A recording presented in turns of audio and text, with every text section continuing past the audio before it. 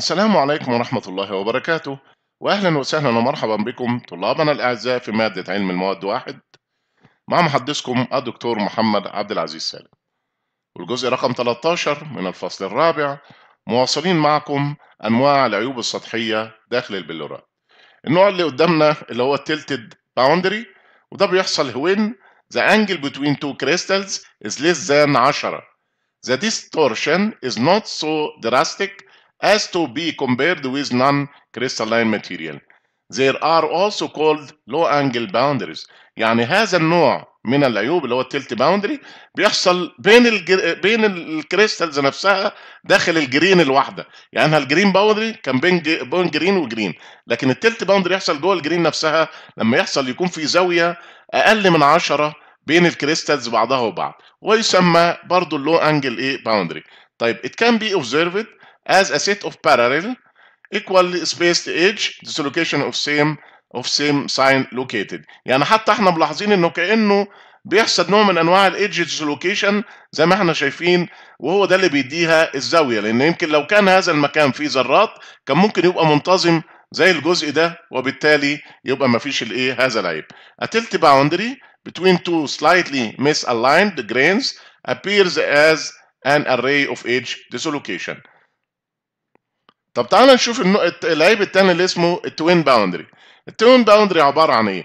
A twin boundary happens when the crystals on either side of a plane are mirror image of each other.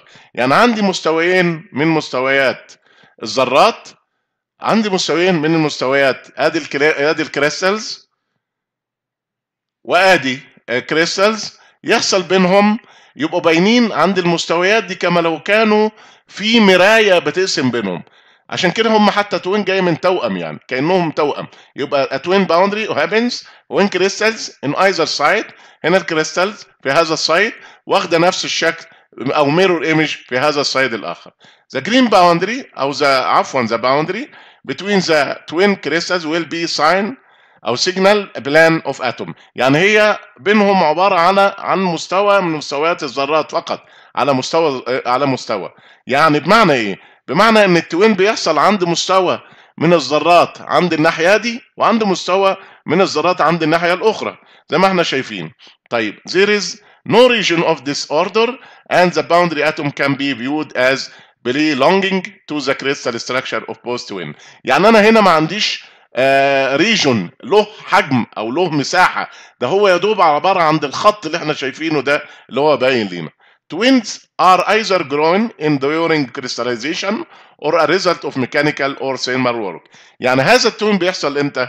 لما يحصل grain growth أثناء عملية ال crystallization أو إعادة البلورة لما يحصل مثلا إن يحصل في عملية تسخين وتبريد أو معالجة حرارية أو ما شابه عشان كده بيبان نتيجة ليه.